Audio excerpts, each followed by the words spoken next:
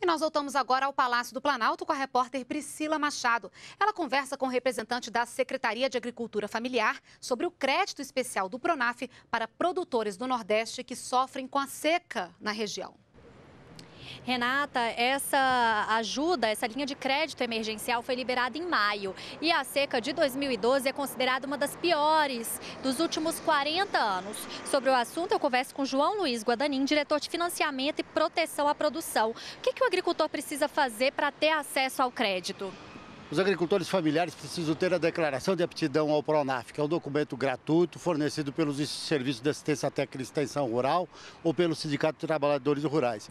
É importante ter também orientação técnica, ter apoio de um extensionista rural para a elaboração dos projetos e para a melhor aplicação dos recursos.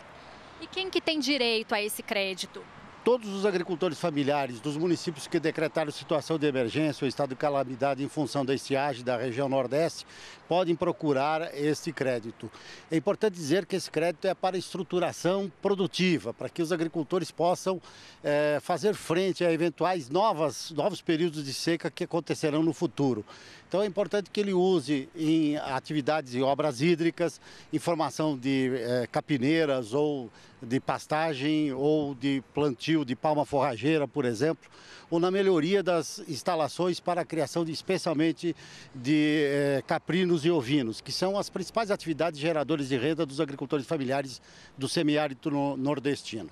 Até agora, quantos agricultores foram beneficiados por essa linha de crédito emergencial? O, Ministério, o Ministério da Integração Nacional, o Ministério do Desenvolvimento Agrário e o Banco do Nordeste têm feito um esforço grande, junto com os parceiros dos estados e dos municípios, e hoje nós temos mais de 160 mil agricultores que já acessaram essa linha.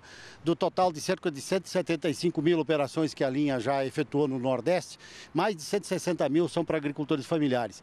E do volume de recursos emprestados, cerca de 1 bilhão 350 milhões, cerca de 950 milhões foram concedidos a agricultores familiares. Então, temos muito a comemorar, apesar das dificuldades e dos problemas que a seca tá, está trazendo, infelizmente, para os agricultores daquela região.